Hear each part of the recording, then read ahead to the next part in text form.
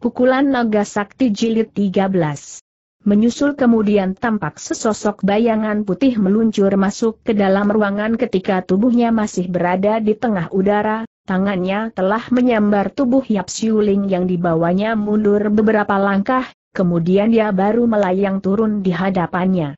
Yap Siuling hanya merasakan pandangan matanya menjadi silau, tahu-tahu sesosok bayangan punggung telah menghalangi pandangan matanya.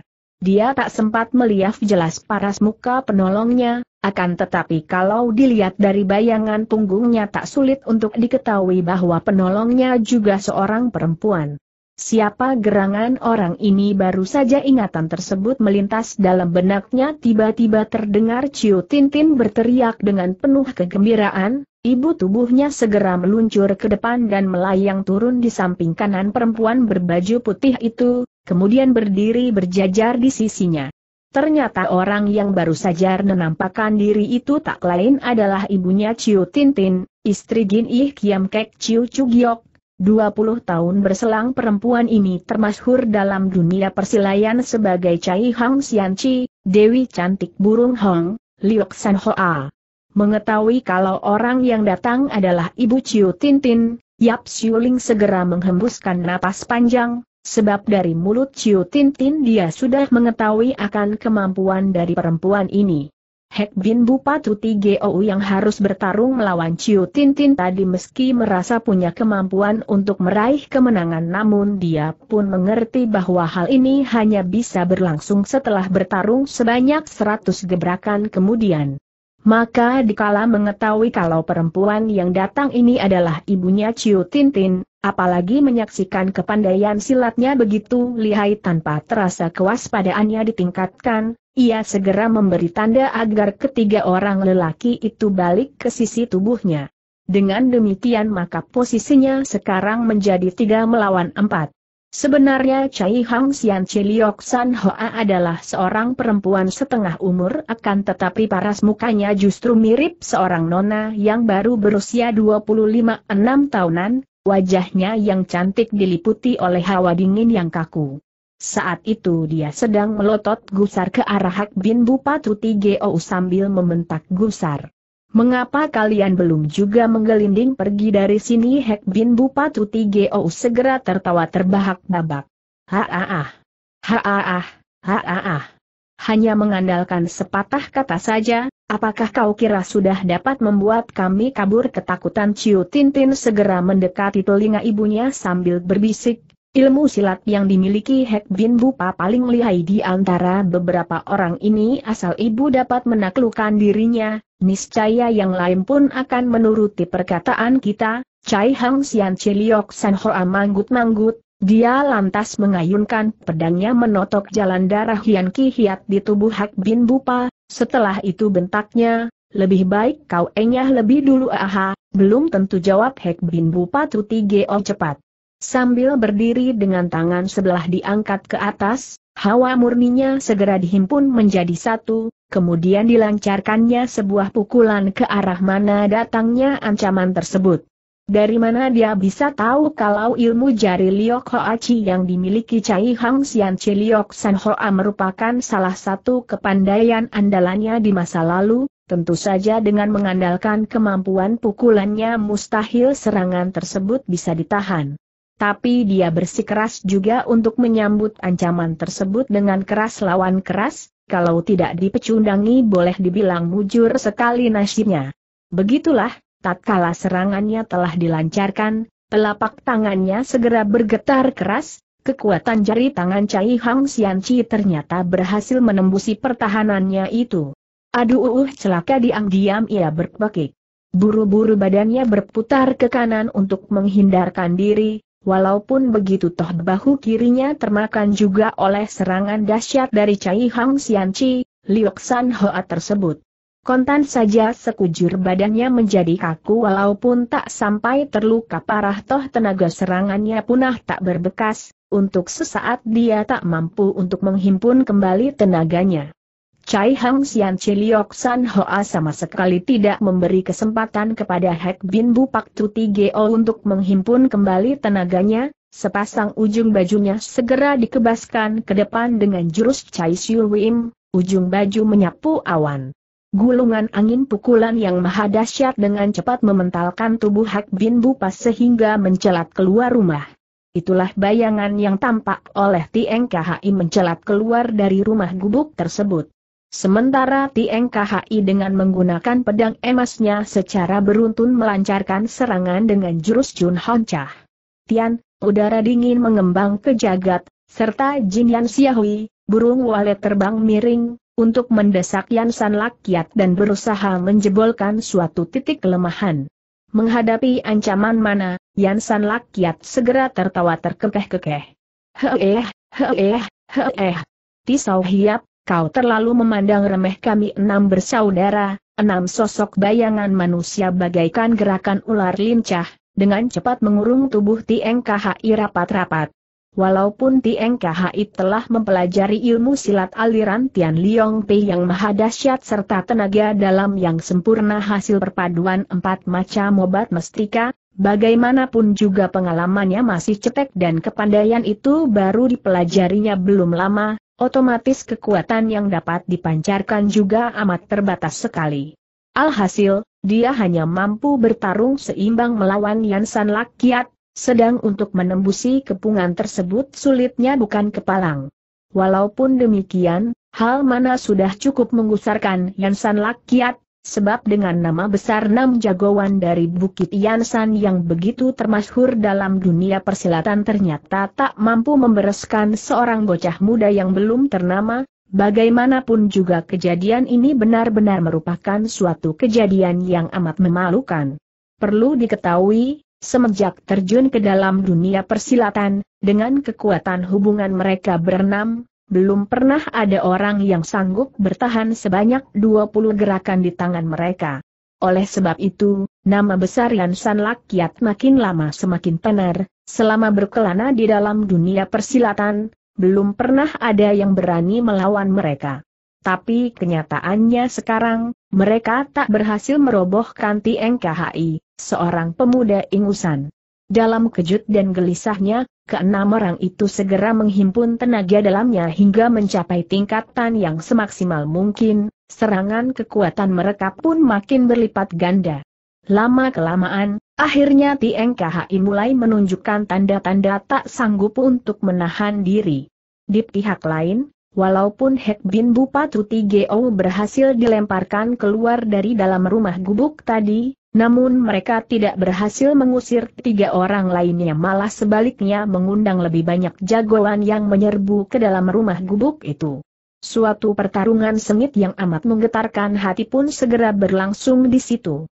Chai Hang Xian Chiliok San Hoa dan Chiu Tin Tin yang memiliki kepandaian silat tinggi, berhubung harus melindungi pula keselamatan Yap Ling maka kemampuan mereka tak mampu dikembangkan sehebat mungkin, keadaan pun menjadi seimbang dan sama kuat.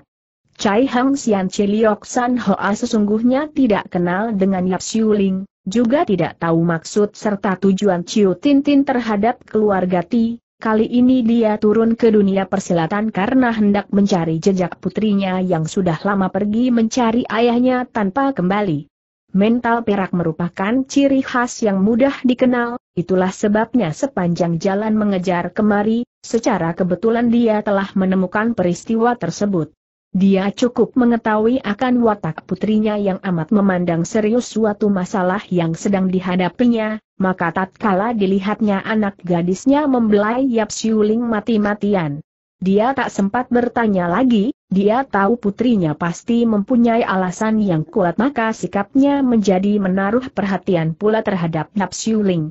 Walaupun tenaga dalamnya tinggi akan tetapi setelah muncul beban di depan mata, kekuatannya menjadi tak berkembang, sekalipun kekalahan bisa dihindari, untuk mengundurkan musuh bukan suatu yang gampang.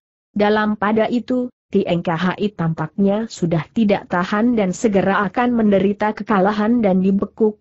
Mendadak tampak Sin Kao Tioyan Kim terpeleset ke samping dan sepasang senjata kaitannya tanpa sebab terjatuh ke tanah menyusul kemudian sambil melompat mundur dia menggoncangkan lengannya kencang-kencang sambil membentak keras. Menyusul kemudian Im Tutio yang turut melompat mundur pula sambil berkoak-koak.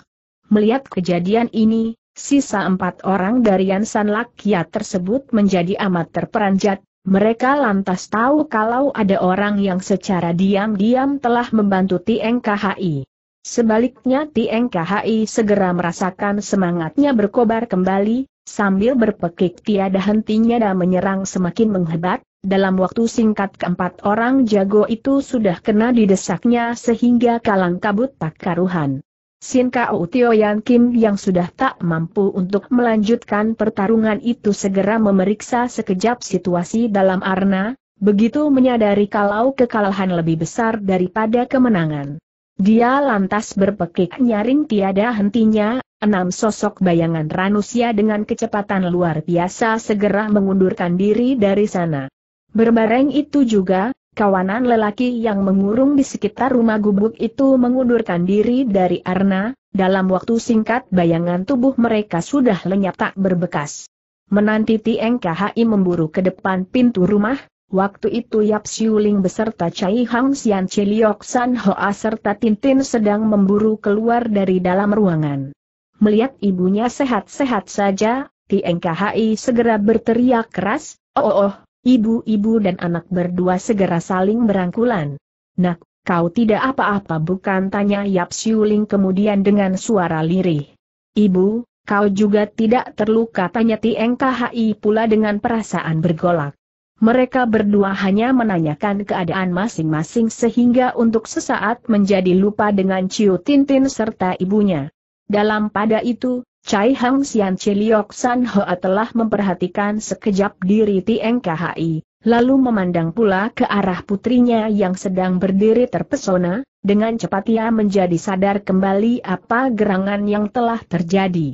Diam-diam ia menjadi gembira sekali, sebab sudah diketahui olehnya mengapa selama setahun lamanya putri kesayangannya ini tidak pulang ke rumah. Tanpa terasa diawasinya pemuda itu, makin teliti makin dilihat semakin senang sehingga untuk beberapa saat lamanya ia menjadi termangu-mangu belaka. Lewat lama kemudian, Ciu Tintin baru menghembuskan napas panjang, sambil menarik ujung baju ibunya dia berkata, Ibu, mari kita pergi saja mengapa tanya Cai Hang Sian Chiliok San Hoa agak tertegun. Saking sedihnya dua titik air mata jatuh berlinang membasahi wajah Ciu Tintin. Ibu katanya kemudian, setelah meninggalkan tempat ini nanti akan keberitahukan kepadamu Cai Hang Sian Chiliok San Hoa ingin menyapa Yap Siuling, tapi kembali dicegah oleh Ciu Tintin, ibu lebih baik kita pergi tanpa memberitahukan kepada mereka lagi, kemudian ditariknya perempuan itu meninggalkan ruangan dan lenyap di balik kegelapan sana. Menanti Tieng KHI berdua teringat kalau di sampingnya masih ada tamu, bayangan kedua orang itu sudah lenyap tak berbekas. Yap Siuling segera mengomel, nak, coba kau lihat, Ciu Pek Bo telah menyelamatkan jiwa ibumu, tapi kita hanya ribut untuk berbicara sendiri dan lupa menyapa tamu. Perbuatan semacam ini benar-benar merupakan suatu perbuatan yang kurang sopan mereka ibu dan anak pun sudah lama tak bersuha muka, siapa tahu mereka sengaja menyingkir untuk berbincang-bincang sendiri nak, cepat cari mereka berdua untuk datang, aku akan persiapkan hidangan malam sekalian menambah dengan beberapa macam sayur, sebentar kau harus menghormati Encitin dengan dua cawan arak sebagai tanda rasa terima kasihmu atas bantuan ibu dan anak berdua, kemudian sambil tersenyum dia berjalan masuk ke ruangan dalam. PNKHI segera melakukan pencarian di sekeliling tempat itu ketika tidak menjumpai jejak kedua orang tersebut, terpaksa dia pulang ke rumah dengan tangan hampa. Baru saja dia sampai di depan pintu, tiba-tiba dari arah jalan bukit tampak sesosok bayangan manusia berlari mendekat. Pada saat itu, TNKHI sedang diliputi oleh rasa gusar dan mendongkol, sambil nendengus dingin ia lantas menerjang ke arah bayangan manusia itu sambil membentak, anjing sialan, kau anggap apa aku benar-benar mudah dipermainkan? Lihat serangan tenaga dalamnya segera dihimpun dan melepaskan sebuah pukulan ke arah orang itu dengan tenaga sebesar delapan bagian, dari sini dapat diketahui kalau dia benar-benar sudah diliputi oleh hawa amarah sehingga kalau bisa ingin membinasakan orang itu dalam sekali pukulan tak terlukiskan betapa dahsyatnya serangan Tieng KHI yang telah disertakan tenaga sebesar delapan bagian itu, di mana desingan angin tajam menyambar lewat, orang itu tak kuasa menahan ancaman tersebut. Kontan saja seluruh tubuhnya mencelat sejauh beberapa kaki dan muntah darah segar. Menyusul serangan itu, Tieng KHI segera melompat ke hadapan orang itu, sekarang dia baru melihat jelas paras muka pendatang tadi, kemarahannya makin memuncak. Pengemis berkaki tunggal, teriak Nja, seandainya aku tidak memandang di atas wajah Culoko, tak akan kubiarkan kau pergi dari sini dengan selamat.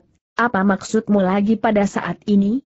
Andai kata kau tidak menjelaskan kepadaku, jangan harap bisa pergi lagi dari sini dalam keadaan hidup orang yang baru saja munculkan diri itu tak lain adalah Cukak Tikoai, kaki tunggal bertongkat baja, Ligo An Gue E, kakak seperguruan dari pengemis sakti bermata harimau Cugo Anpo. Walaupun ilmu silat yang dimilikinya termasuk jago kelas satu di dalam dunia persilatan, akan tetapi dia masih bukan tandingan dari PNKHI, apalagi diserang dengan tenaga sebesar delapan bagian dan dikala badannya melambung di udara, tak heran kalau luka yang dideritanya amat parah sehingga tak sanggup untuk menjawab.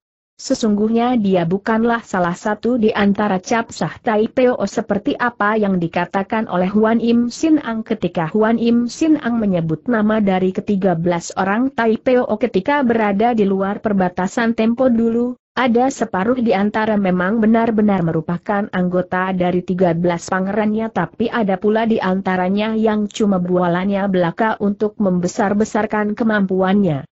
Sebab pada waktu itu meski dia berhasrat untuk membentuk capsah Taipeo namun jumlahnya belum komplit.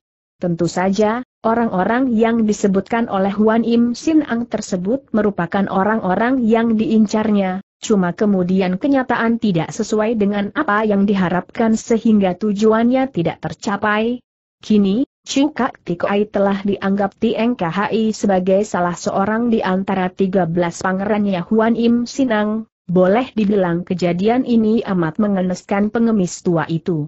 Setelah memperoleh caci maki dari Tieng KHI pada pagi harinya tadi, dengan penuh rasa mendongkol dia mengundurkan diri dari sana, boleh dibilang kesannya terhadap Tieng KHI jelek sekali, kalau bisa dia ingin segera berangkat pulang dan menegur adik seperguruannya yang punya mata, tak berbiji sehingga salah memilih teman. Siapa tahu justru dia menyaksikan Huan Im Sin Ang menyusun rencana untuk menculik Yap Shuling dan menguasai Tieng. Sebagai seorang lelaki sejati yang berjiwa pendekar, dengan cepat ia melupakan semua sikap kasar Tieng KHI terhadap dirinya dan balik ke sana dengan harapan bisa membantu Tieng KHI untuk menghalau musuh tangguh.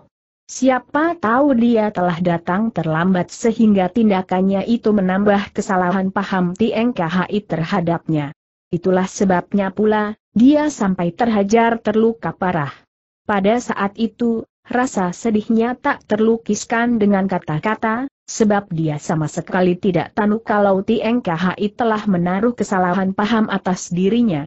Dia menganggap Tieng tak lebih hanyalah seorang manusia kasar yang tak tahu diri. Tak heran kalau kesannya terhadap pemuda ini pun semakin jelek. Masih mendingan kalau hanya memukul saja, ternyata Tieng mencaci maki pula dirinya, ini semua membuat hatinya meledak-ledak saking mendongkolnya dalam gusarnya dia membungkam diri dalam seribu bahasa, dia mau melihat apa yang hendak dilakukan Tieng KHI terhadap dirinya. Tatkala Tieng KHI menyaksikan Cukak Tiko Ai Ligoan Gue E memandangnya dengan wajah menghina, bahkan tak mengucapkan sepatah kata pun, kontan saja hawa amarahnya semakin memuncak teriaknya, jika kau masih membungkam terus, jangan salahkan kalau aku tak akan sungkan-sungkan lagi, jari tangannya segera ditegangkan seperti tombak, kemudian siap disodokkan ke bawah. Cukak Tiko Ai Ligoan Gue mendengus dingin, jengeknya, apa yang hendak kau lakukan, lakukan saja kepadaku, anggap saja aku si pengemis tua telah salah melihat orang Tieng KHI segera mendengus dingin. HMMM, jangan dianggap aku Tieng masih berusia muda maka bisa ditipu seenaknya, kau sendirilah baru orang yang tak bermata. Jari tangannya segera disodok ke depan, Segulung desingan angin tajam segera menyebar ke arah jalan darah Hian Ki Hiat di tubuh Cukak Tiko Ai Ligoan Gue agaknya dia memang berniat untuk memberikan sedikit pelajaran kepada pengemis tua tersebut. Cukak Tiko Ai Ligoan hanya melototi wajah Tieng KHI, kemudian tertawa pedih, tampak serangan tersebut segera akan menerjang ke tubuh Cukak Tiko Ai pada saat itulah tiba-tiba Tieng KHI menemukan sikap gagah dan pantang menyerah yang terpancar dari wajah pengemis tersebut. Tercekat hatinya setelah menyaksikan hal ini, dia khawatir apa yang dilakukannya sekarang kelewat batas. Tapi golok sudah keburu diloloskan, apalagi hatinya terpengaruh oleh emosi walaupun timbul ingatan tersebut, serangannya sama sekali tidak dibatalkan. Siapa tahu pada saat itulah dari samping Erna meluncur datang segulung angin pukulan yang menghantam serangan dari Tieng KHI tersebut, kemudian dengan cepatnya membawa tubuh Cukak Tikoai menyingkir ke samping. Tieng KHI segera membalikan badan sambil menerjang ke arah sebatang pohon, bentaknya, siapa di situ pohon itu berada lebih kurang dua kaki jauhnya di hadapan Tieng KHI, baru saja pemuda itu melompat ke depan, dari atas pohon telah melayang turun seorang pendeta berkerudung. Tisau Hiap, tenaga dalammu telah memperoleh kemajuan yang amat besar, sekarang boleh dibilang sudah cukup untuk menjagoi dunia persilatan, entah masih kenali teman lama tidak tegurnya. Didengar dari ucapan itu, bisa diketahui kalau pendeta tersebut merasa sangat tidak puas. Buru-buru Tieng KHI mengerahkan ilmu bobot seribu untuk melayang turun ke tempat semula, lalu serunya agak tertegun, kalau memang kau adalah temanku, kenapa, akan tetapi bicara sampai di situ, satu ingatan segera terlintas ke dalam benaknya, dengan cepat dia mengetahui siapa gerangan pendeta tersebut. Sebab semenjak dia terjun ke dalam dunia persilatan, hanya dua orang pendeta saja yang bisa dianggap sebagai rekan lamanya. Yang seorang adalah Chi Taisu yang dikenalnya dalam perkampungan Ki Hian Sanceng, sedangkan yang lain adalah Wang Oh Taisu, ayah Chiu Tintin. Kalau Chi Kei Taisu berperawakan tinggi besar maka mustahil dia adalah pendeta berkerudung di hadapannya sekarang itu berarti satu-satunya kemungkinan adalah Wang Oh Xiansu. Terhadap Chiu Tintin dia memang sudah menaruh rasa menyesal, maka terhadap Wang Oh Xiansu pun tak berani bertindak kurang hormat. Setelah mundur selangkah katanya. Ternyata Sian Su yang telah berkunjung kemari, terimalah hormat dari Bo Ampual, seraya berkata dia lantas menjura sementara dalam hatinya diam-diam ia berpikir. Setelah menjadi pendeta, masa dia masih memiliki kesulitan yang tak bisa diketahui orang? Kalau tidak, kenapa dia mengenakan kain kerudung untuk menutupi wajahnya sementara itu Wang Su telah mengulapkan tangannya sembari berkata, kalau memang Tisau Hiap ingat dengan Pinceng, apakah kau pun bersedia memberi muka kepadaku? Tieng KHI memandang sekejap ke arah Cukak Tiko Ai Ligoan Gue kemudian ujarnya. Apakah Sian Su meminta agar Bo Ampu melepaskan sampan masyarakat ini mendengar dirinya dimaki sebagai sampah masyarakat? Kontan saja Cukak Tiko Ai mencak-mencak kegusaran, bentaknya, sudah puluhan tahun lamanya Lohu berkelana dalam dunia persilatan, belum pernah satu kali pun kulakukan perbuatan yang biadab atau melanggar kebenaran, kau masih berusia muda, kenapa sudah menfitnah orang seenaknya sendiri kau adalah salah seorang dari capsah Taipeo Nyahuan Im Sinang, perbuatan ini sudah merusak nama baik Kei Pang, orang lain memang tak tahu. Tapi aku telah mendengar hal ini dari mulut Huan Im Sin Ang sendiri. Memangnya aku sengaja memfitnahmu Kak Tiko Ai Ligoan Gue e semakin gusar lagi setelah mendengar tuduhan tersebut sampai sekujur tubuhnya gemetar keras, dengan suara yang tak jelas katanya, kau, kau, dia ingin mengucapkan sesuatu, namun tak tahu apa yang mesti diutarakan keluar. Baru saja Tieng KHI bermaksud untuk membongkar rencana busuk seperti apa yang diduganya semula, Weng Oh Sian Su telah menggoyangkan tangannya berulang kali sambil mencegah. Omin Tohut. Tisau Hiap, kau sudah ditipu oleh Huan Im Sinang, Pinceng berani jamin, Litai Hiap bukanlah salah seorang di antara cap satai POT NKHI masih belum mau percaya, gumamnya, soal ini. Soal ini. Kalau kulihat dari wajah Xiao Hiap, tampaknya kau sudah percaya penuh dengan apa yang dikatakan Huan Im Sinang, AAAI. Helaan napas panjang itu mencakup sisa perkataan yang belum terungkapkan. Walaupun ucapan tersebut tidak dilanjutkan, akan tetapi peluh telah jatuh bercucuran membasahi tubuh Tieng KHI, ia cukup memahami kekecewaan Wang Osiansu terhadap dirinya. Tanpa terasa dia lantas berpikir, Weng Oh Sian Su adalah seorang manusia yang jujur dan saleh, kalau tidak ku percaya perkataannya, apakah harus percaya dengan perkataan Huan Im Sinang? Andai kata Huan Im Sinang benar-benar berniat jelek, bukankah aku telah diperalat olehnya tanpa sadar tiba-tiba satu ingatan melintas dalam benaknya, dia pun berpikir lebih jauh, Andai kata Cuka Kikoai benar-benar adalah salah satu dari capsah Taipeo pimpinan Huan Im Sinang, masa Huan Im Sinang bisa bertindak bodoh dengan mengutusnya lagi untuk menipu diriku?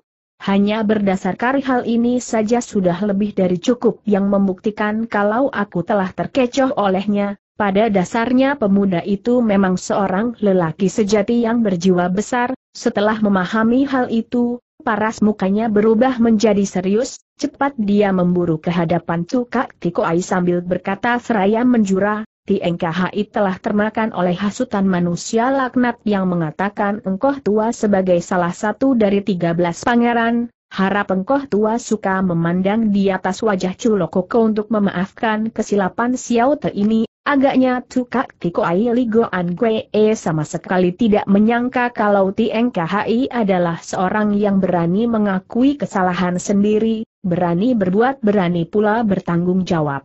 Sikap gagah semacam ini makin jarang ditemui dalam dunia persilatan ini.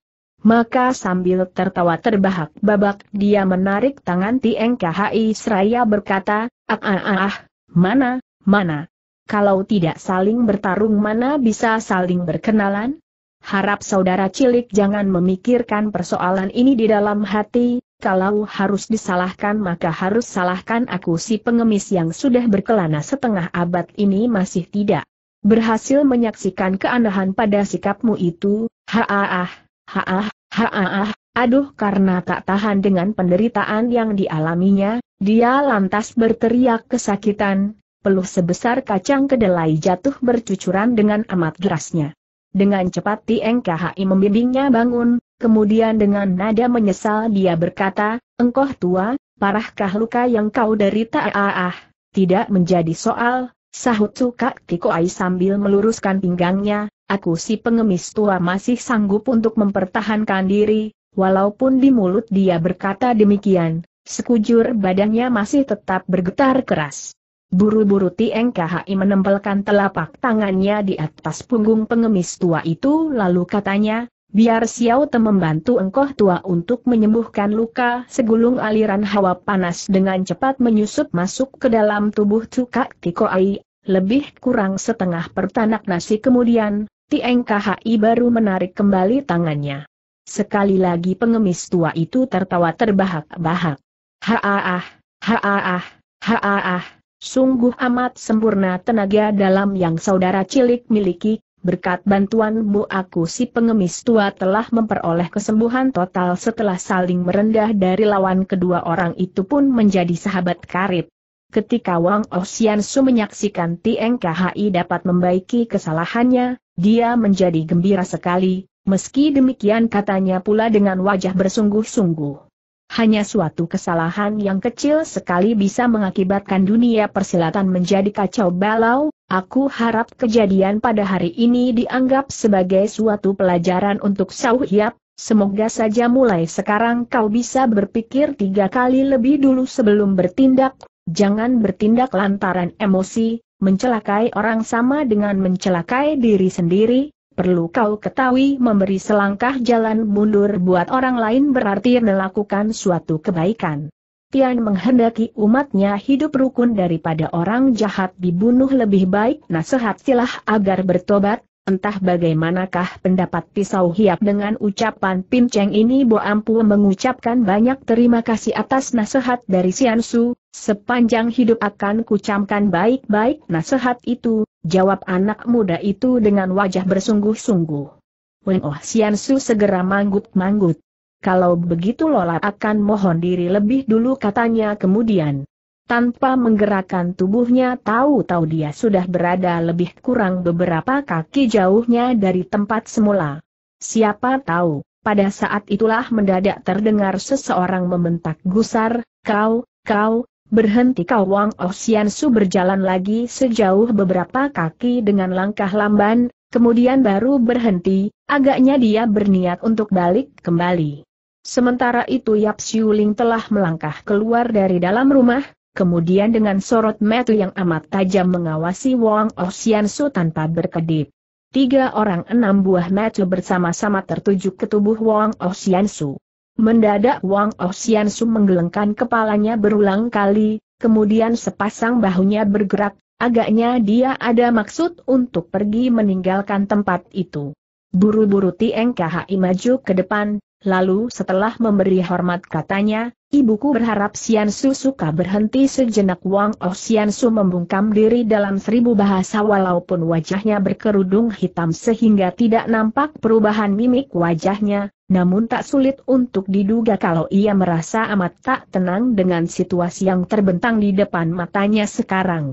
Sian Chu kembali Tieng KHI berseru, ibuku adalah seorang yang dapat membedakan antara jahat dan benar, harap Sian Sup pun bersedia untuk menjumpainya, Weng Oh Sian Chu masih tetap membungkam dalam seribu bahasa, agaknya dia merasa ragu untuk mengambil keputusan apakah harus tetap tinggal atau pergi dari situ. Terdengar suara Yap Siuling telah berkumandang lagi dari belakang diiringi helaan napas panjang, Aaai, dari nada suaramu dan potongan badanmu, aku sudah tahu siapakah dirimu itu, kalau kulihat dari keraguanmu, Hal mana menunjukkan kalau rasa cintamu belum putus, aku kini sudah tidak memikirkan apa-apa lagi, mendadak ia berhenti sejenak, kemudian serunya kepada Tieng Ji. Minggir, beri jalan untuk Sian Su, baik jawab Tieng dengan perasaan bingung. Kemudian setelah menyingkir dan memberi hormat katanya, Bo Ampua menghantar kepergian Sian Suwang Oh Sian Surupanya belum dapat melupakan diri sendiri, Tampak sekujur badannya gemetar keras, mendadak kain kerudungnya terlepas sehingga tampak raut wajahnya yang tampan. Sambil memandang ke arah Tieng ia berkata sembari tertawa getir.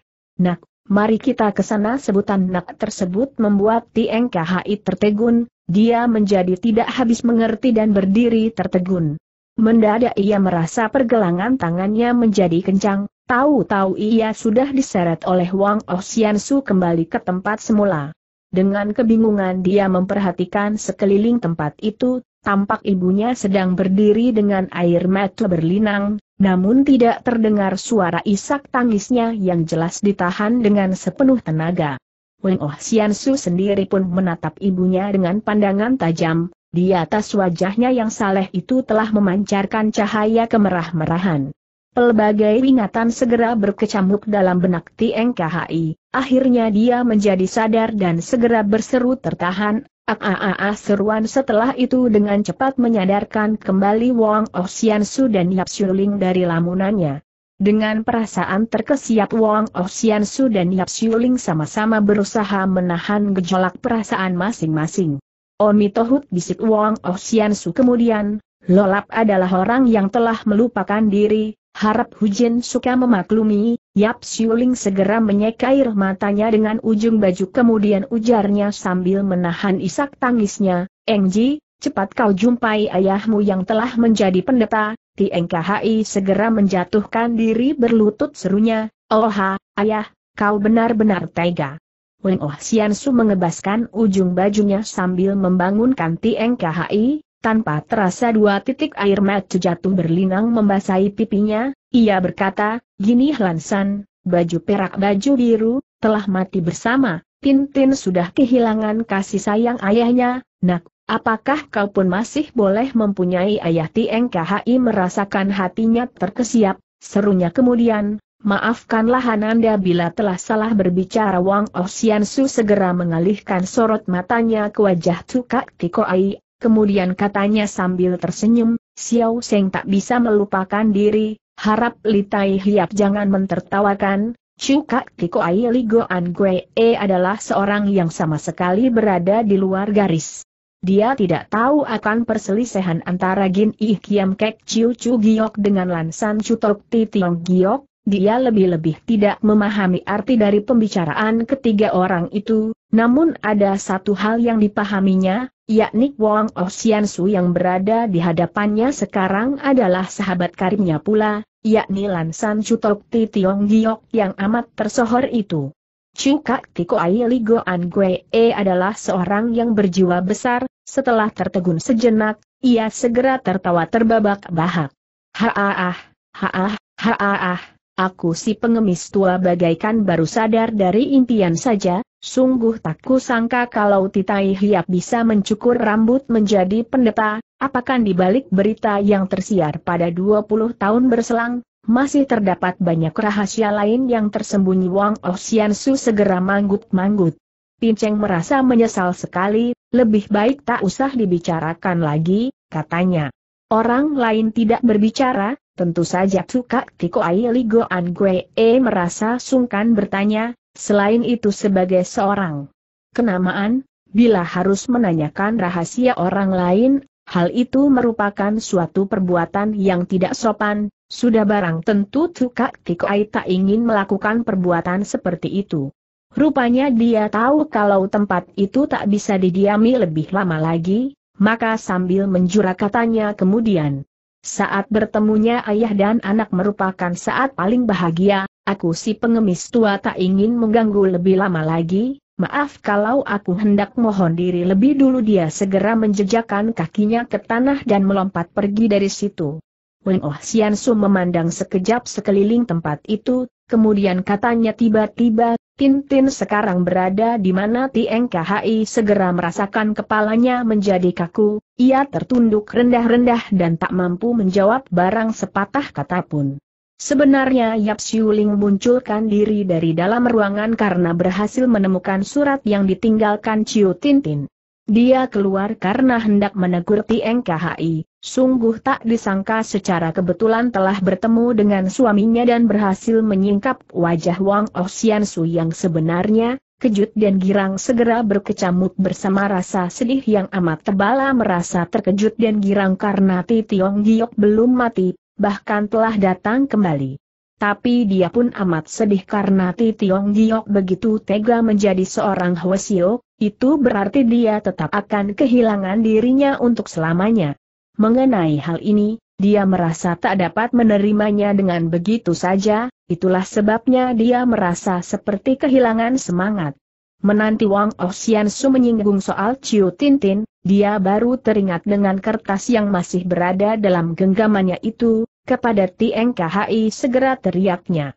Nak, kau telah berbuat suatu kesalahan besar, bagaimana tanggung jawabmu nanti terhadap Encitin?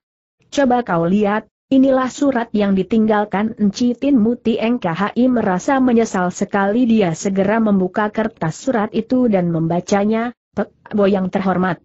Titli tak dapat berdiri di sini lagi, daripada mempengaruhi perasaan adik Eng untuk itu aku minta maaf yang sebesar-besarnya untuk ayahku dan diriku sendiri. Keponakan, Ciu Tintin. Belum habis di Eng KHI membaca tulisan itu, air matanya sudah jatuh bercucuran. Setelah orangnya tidak ada, dia baru merasakan bahwa Ciu Tintin adalah seorang gadis yang menyenangkan dan patut dihormati, Selain itu rasa cinta yang selama ini tertanam dalam hatinya turut bergolak pula dengan hebatnya. Weng Oh Sian Su merasa kurang leluasa untuk menegur Tieng KHI, dia hanya menggelengkan kepalanya berulang kali sambil menghela napas panjang. Setelah kepergian Tintin, Pinceng semakin merasa malu terhadap sobat lamaku di alam baka dengan cepat Tieng KHI berseru, sekarang juga Ananda akan berangkat untuk menyusul Encitin, seandainya ia tak dapat memaafkan Ananda, Ananda pun merasa tak punya muka lagi untuk berjumpa dengan kalian orang tua berdua, anak Eng, kau harus ingat, kata Yap Shuling dengan sedih, keluarga Ti serta partai Tian Liong tak bisa kekurangan dirimu. Wen Oh Sian Su dengan sepasang metu yang memancarkan sinar tajam menatap pula wajah Ti Eng KHI tanpa berkedip katanya dengan wajah serius. Tugas berat untuk membangun kembali Tian Liong P berada di tanganmu, aku harap kau jangan melupakan tugasmu. Selain itu, bulan 8 tanggal 15 nanti, pertemuan di Bukit Chongsan akan diselenggarakan, persoalan ini timbul gara-gara kau, itulah sebabnya kau berkewajiban untuk melerai pertikaian itu, aku harap kau suka berpikir tiga kali lebih dulu sebelum bertindak untuk sesaat lamanya. Tieng KHI menjadi amat terharu sehingga menundukkan kepalanya dengan wajah malu dan mulut terbungkam dalam seribu bahasa. Setelah menasehati Tieng KHI, nada suara Wang Osian Su pun menjadi lebih lunak katanya lembut, besok, kau harus segera melanjutkan perjalanan menuju ke Bukit Chongsan, selesaikan kesalahan paham itu sebaik-baiknya Tieng KHI teringat kembali dengan ibunya, bila dia harus pergi, bukankan ibunya akan sendirian dengan perasaan khawatir, katanya dengan nada sedih, Ananda merasa amat khawatir membiarkan ibu berada di sini seorang diri besok pagi keempat orang susyokmu akan sampai di sini dan bersama ibumu akan kembali ke Huai untuk mengumpulkan semua anggota Tian Liong P dan membangun kejayaan partai, tak usah khawatir. Pergilah dengan hati tenang tiba-tiba Tieng KHI teringat kembali dengan luka Jit Setci dari keempat susyoknya yang telah disembuhkan orang, Timbal kecurigaan dalam hatinya, dia lantas bertanya, apakah kau orang tua yang telah menyembuhkan luka yang diderita keempat orang susyok Wang Osian Chu menghela napas panjang. Aaai, aku sudah menjadi seorang pendeta, namun pikiranku masih tertinggal di rumah, aku benar-benar telah menyia-nyiakan ajaran Buddha. Tak bisa disangka lagi, memang semuanya itu merupakan hasil perbuatannya. Tieng KHI sendiri pun cukup menyadari ayahnya masuk menjadi pendeta karena dia merasa menyesal terhadap kematian Gin Ih Kiam Ke. Tapi setelah menjadi pendeta, dia pun merasa sedih karena Tian Liong Pe menjadi kehilangan pamornya lantaran kehilangan dia. Membayangkan semua pengalaman pedih yang dialaminya, tanpa terasa Tieng ikut merasa bersedih hati. Waktu itu rembulan telah berada di awang-awang, Tiga sosok bayangan manusia berdiri di tempat masing-masing tanpa mengucapkan sepatah kata pun. Akhirnya Wang Osian Su merangkap tangannya di depan dada sambil berkata, harap Hujin baik-baik menjaga diri, Sian Cheng ingin mohon diri lebih dahulu. Yap Ling menjadi sedih sekali, bisiknya, kau, kau, kau, kau akan, Mendadak ia merasa amat terperanjat sebab berada di hadapan suaminya yang telah menjadi pendeta memang tidak sepantasnya mengucapkan kata semacam itu lagi, teringat sikapnya tersebut, ia tertunduk dengan wajah memerah karena jengah, tak sepatah kata pun sanggup diutarakan lagi. Ayah, kau tak boleh pergi pekik Tieng KHI sedih. Sekuat tenaga Wang Osiansu berusaha untuk mengendalikan perasaannya, Lalu dengan dingin dia berkata, anak dungu, ayahmu sudah menjadi seorang pendeta, kalian tak usah banyak berbicara lagi. Seusai berkata dia lantas melompat pergi sejauh puluhan kaki lebih dan lenyap di balik kegelapan sana. Yap Shuling dan Tieng KHI berdua mesti amat sedih atas kepergian pendeta itu, namun mereka cukup mengetahui akan batas-batas yang ada, maka terhadap kepergian Wang Su sama sekali tidak menghalanginya. Keesokan harinya, betul juga, keempat susyoknya telah muncul kembali di sana. Perjumpaan ini sangat mengharukan semua orang.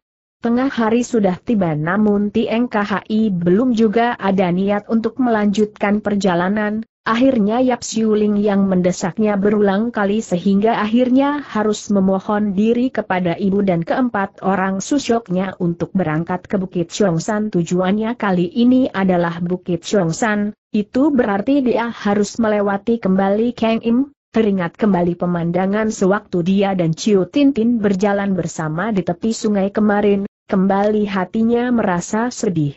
Waktu itu mereka berdua saling menyebut saudara dan akrab sekali hubungannya sungguh tak disangka hanya selisih satu hari saja, gadis cantik itu entah sudah ke mana, karena sedih tanpa terasa langkahnya sudah semakin lambat.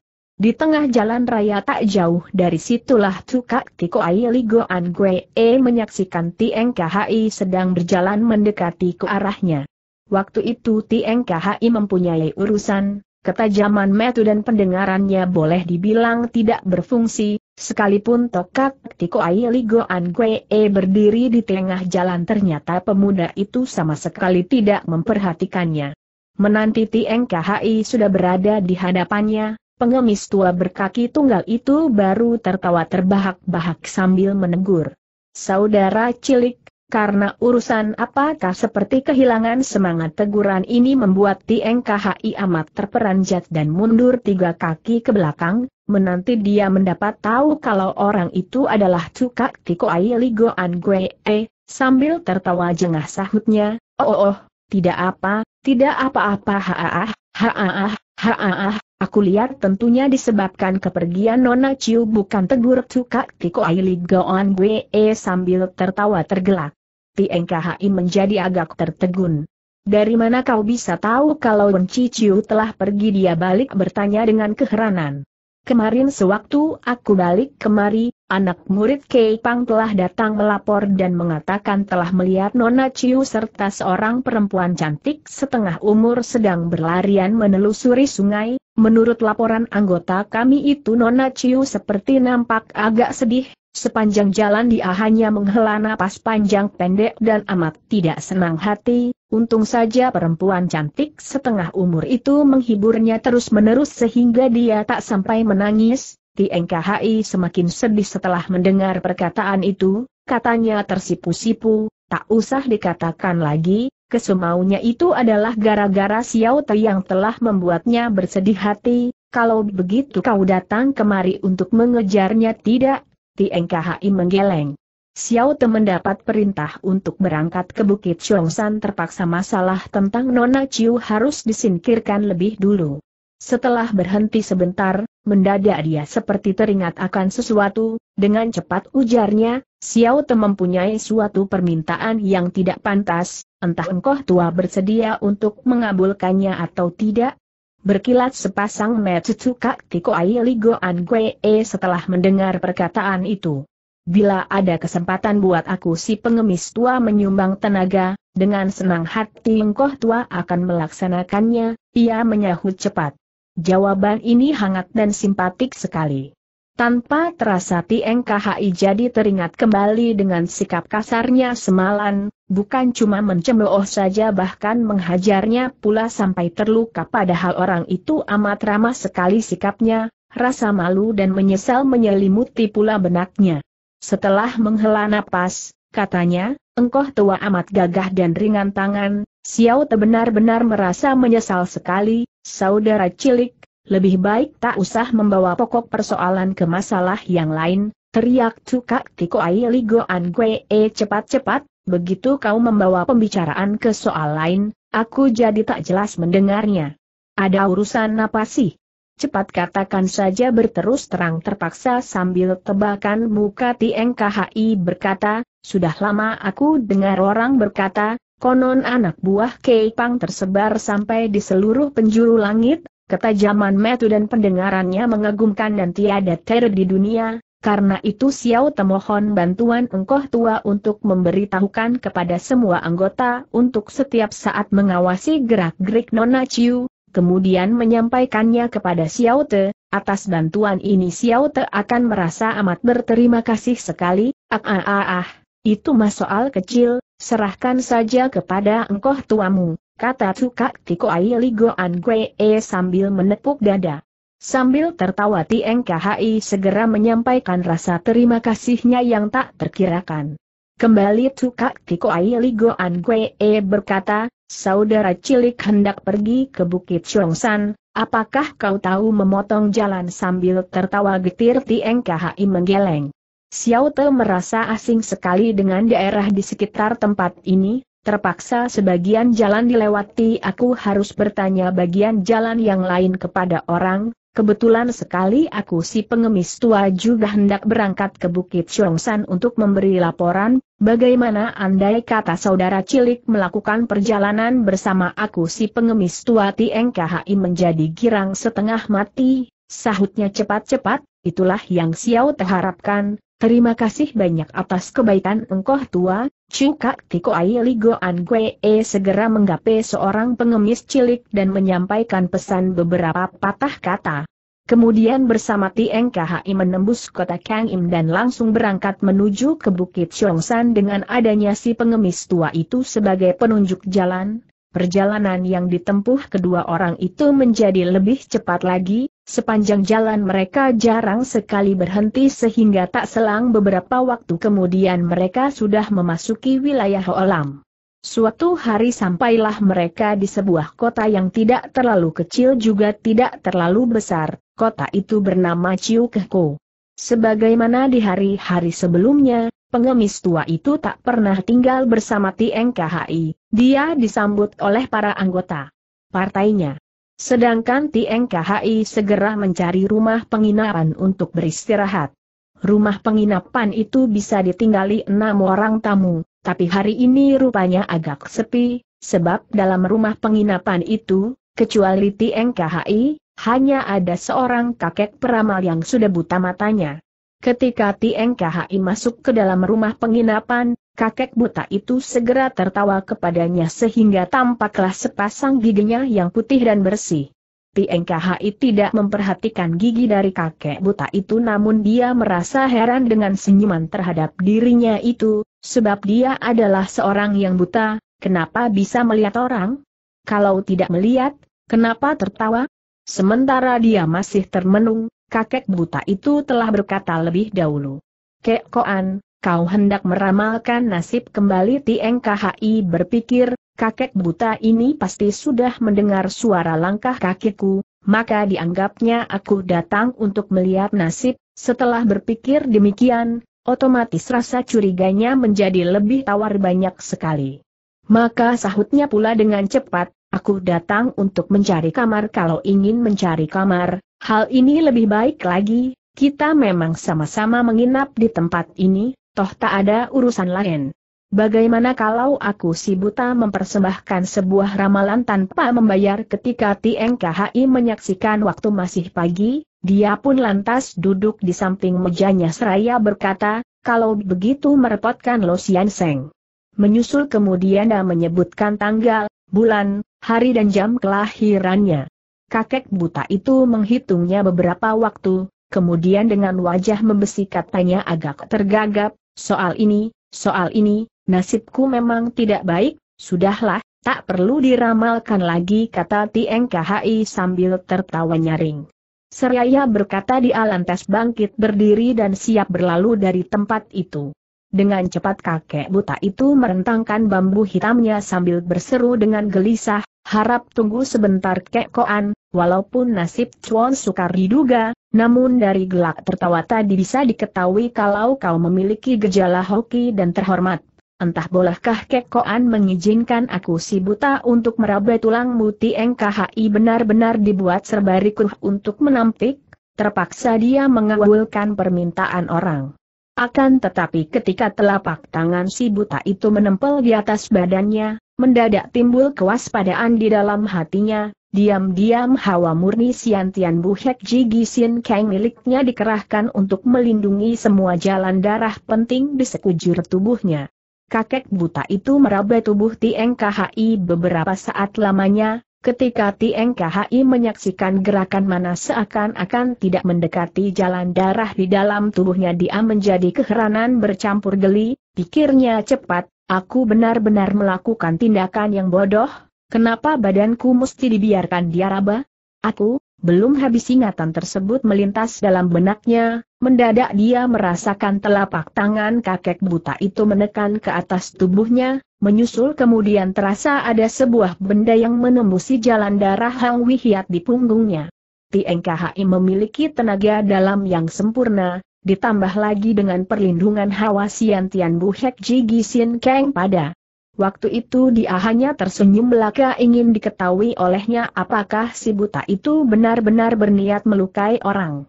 Selain daripada itu, hawa murninya segera dihimpun bersiap sedia melakukan gerakan untuk merobohkan lawan.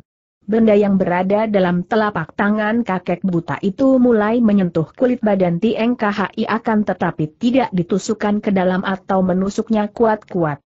Secara beruntun dia hanya menusuknya sebanyak tiga kali saja. TNKHI tidak habis mengerti permainan setan apakah yang sedang dilakukan kakek buta itu terhadap dirinya, sebelum dia hendak buka suara, kakek buta itu sudah berseru sambil tertawa. Kek Koan memiliki tulang yang bagus dan tiada duanya di dunia ini, kali ini aku si buta benar-benar dibuat kebingungan, belum habis perkataan itu diutarakan, Tieng KHI segera merasakan telapak tangan kakek buta itu kembali menekan jalan darahnya. Tahu-tahu benda tersebut sudah menembusi pelindungan hawa Hikang Siantian Bu Hek Ji Gisin Kang di sekeliling tubuhnya, kemudian menusuk masuk ke dalam dan menyusup ke dalam organ tubuhnya. Sekarang Tieng KHI baru menyadari akan datangnya ancaman bahaya maut, dengan wajah berubah hebat dia segera berpekik keras di dalam hati kecilnya, Aduh, celaka tanpa membuang waktu lagi dia membalikan tubuhnya sambil melancarkan sebuah pukulan kencang ke arah tubuh si kakek buta tersebut. Siapa tahu, tatkala telapak tangannya menghajar di atas tubuh kakek buta itu, hanya kedengaran suara benturan yang amat nyaring belaka. Plaak diiringi suara yang nyaring telapak tangan itu menghantam tubuh si kakek buta, namun sama sekali tidak menimbulkan luka atau akibat apa pun. Ternyata hawa murni yang berhasil dihimpunnya tadi kini sudah lenyap tak berbekas, seolah olah sebuah bola yang tahu-tahu ditusuk dengan sebuah jarum, kontan bola itu menjadi kempes. Sementara si anak muda itu merasa terperanjat, si buta itu sudah memutar balikan biji matanya sehingga kelihatan kembali bola matanya yang hitam, Sambil menatap pemuda itu dengan pandangan tajam, dia tertawa terkekeh dengan seramnya. Heeh, heeh, heeh.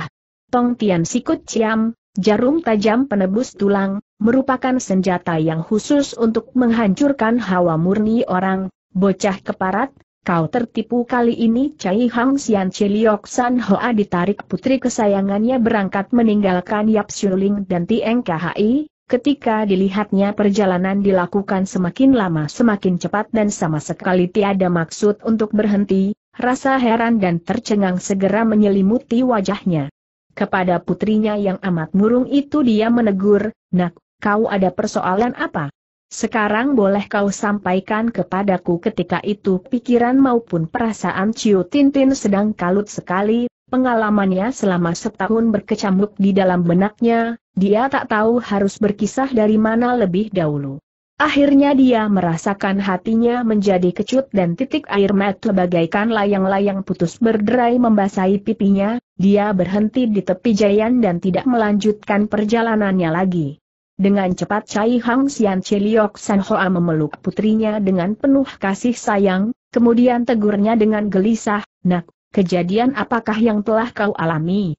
Cepat katakan kepadaku, tak usah disembunyikan di dalam hati lagi, apabila disimpan terus badanmu bisa sakit dan aku akan semakin sedih. Perasaan Ciu Tintin pada saat ini ibaratnya kuda yang terlepas dari talinya, dia tak sanggup mengendalikan diri lagi, sambil menubruk ke dalam pelukan ibunya dia berseru, oh oh, oh ibu hanya sepatah kata saja ya dapat dia ucapkan. Sambil membelai rambut putrinya yang halus dengan penuh kasih sayang, Cai Hang Sian Chiliok San Hoa membiarkan ia menangis sepuasnya. Kemudian sambil mengangkat wajahnya dia berkata sambil menghela napas panjang, Nak, apakah kau sedang bercekcok dengan bocah dari keluarga T itu? Bagaimanapun juga perasaan seorang ibu memang jauh lebih tajam, ternyata Chai Hang San Chiliok San Hoa berhasil menebaknya dengan jitu. Ciu Tintin segera mengangguk, lalu menggeleng lagi, dengan suara yang begitu lirih sehingga hanya ibunya saja yang mendengar, dia berbisik kembali, tidak. Dia sama sekali tidak senang kepadaku, uh, uh, uh, uh, kembali dia menangis terseduh-seduh.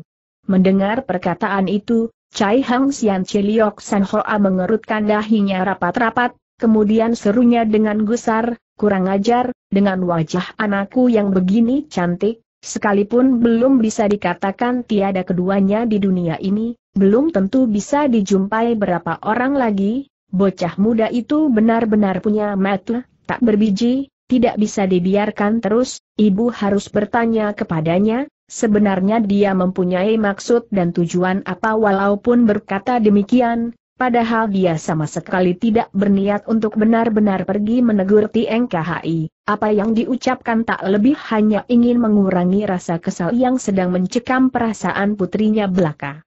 Menyusul kemudian, Chai Hang Sian Cheliok San Hoa menghela napas panjang dan berkata lagi.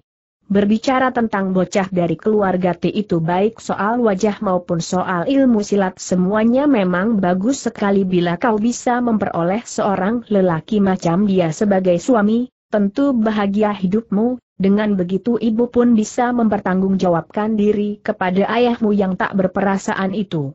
Cepat katakan kepadaku, persoalan apakah yang sedang melibatkan kalian berdua, agar ibu pun bisa turut memikirkan dan berusaha untuk memecahkannya. Ciu Tintin segera menyeka air mati yang membasahi pipinya, lalu berkata agak lersipu, dia orangnya baik sekali, cuma sedikit agak tidak mengerti soal kasih sayang. Chai Hang Sian Chiliok San Hoa segera menghembuskan napas panjang, katanya sambil tertawa ringan, nak, kau benar-benar mengejutkan ibu kalau hanya persoalan sekecil ini, masa dengan kecerdasan otakmu juga tak dapat mengatasinya. Nak, bukankah ibu sering kali memberitahukan kepadamu dalam menghadapi persoalan apa pun harus dikerjakan baik-baik, harus punya kesabaran, jangan gampang putus asa, sekali gagal coba kedua kalinya, gagal lagi coba untuk ketiga kalinya, dengan begitu lama kelamaan apa yang kau harapkan sudah pasti akan tercapai, dengan sedih Ciu Tintin berkata, Sesungguhnya antara keluarga Ciu dan keluarga Ti mereka terdapat suatu persoalan yang sukar untuk dihilangkan dengan begitu saja. Itulah sebabnya Ananda tak tahu apa yang harus dilakukan Cai Hang Sian Chiliok San Hoa sama sekali tidak tahu kalau Ciu Tintin telah menganggap Lan In Chu Tok Ti Tiong Giok sebagai ayahnya, dia mengira anak gadisnya berkenalan dengan Tieng KHI sewaktu mencari ayahnya dan mereka saling jatuh cinta, Itulah sebabnya dia menjadi agak bingung mendengar perkataan itu, ujarnya, bukankah ayah si bocah dari keluarga Ti adalah Ti Tiong Hio? Ciu Tintin mengangguk. Ya benar, memang dia orang tua kembali Cai Hang Sian Ciliok San Hoa tertawa, apa jeleknya? Dahulu ayahmu dan Ti Tiong Hiok adalah sahabat yang paling akrab, asal ibu mau menampilkan diri, persoalan apa pun pasti akan beres dengan sendirinya sampai sekarang, Ciu Tintin baru ingat kalau dia belum menceritakan kisahnya di mana berhasil menemukan jejak ayahnya kepada ibunya, teringat soal ayah, semua kemurungan segera hilang lenyap tak berbekas, sebagai gantinya sekulum senyuman menghiasi wajah gadis itu. Ibu, Ananda akan menyampaikan sebuah kabar gembira kepadamu. Serunya kemudian Chai Hang Sian Chiliok San Hoa mengira Ciu Tintin melantur dan mengalami perubahan sikap sehingga bicaranya semakin tak karuhan. Dengan kening berkenit serunya, nak, sampai di mana pembicaraanmu itu? Kau bawa Ciu Tintin ada maksud untuk membuat ibunya terkejut, dengan cepat dia berseru, aku berhasil menemukan ayah betul juga, Ucapan tersebut segera membuat Chai Hang Sian Chiliok San Hoa menjadi girang setengah mati, dia segera mencengkeram bahu Ciu Tintin sambil menegaskan. Nak, apa kau bilang Ananda telah berhasil menemukan ayah ulang Ciu Tintin lagi dengan wajah berseri. Agaknya Chai Hang Sian Chiliok San Hoa tidak kuat menghadapi berita gembira ini, seketika itu juga dia merasakan kepalanya menjadi pening, badannya menjadi lemas dan gontai tiada hentinya. Ah ah ah ah, ah ah ah, ternyata dia masih hidup, ternyata dia masih hidup, gumamnya tak henti.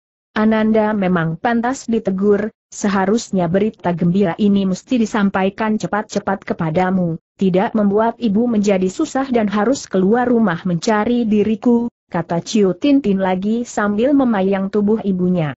Cai Hang Sian Ciliok San Hoa menggelengkan kepalanya berulang kali, dengan pikiran yang jauh lebih jernih dia berkata, benarkah itu nak?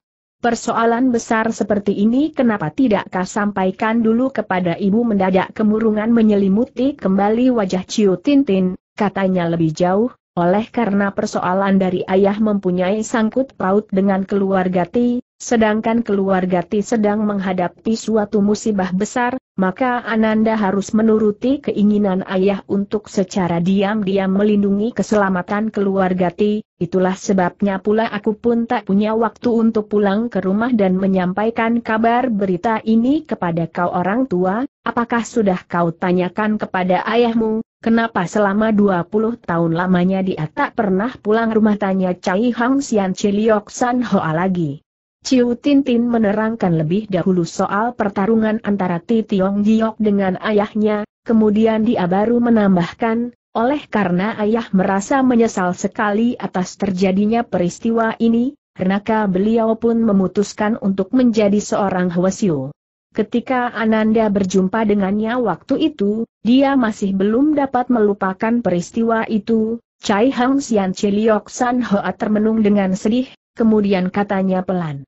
Apa yang dilakukan ayahmu memang benar, ibu tak dapat menyalahkan dirinya, benar-benar tak disangka kalau Chai Hang Sian Chiliok San Hoa pun merupakan seorang perempuan yang berpandangan luas dan berlapang dada.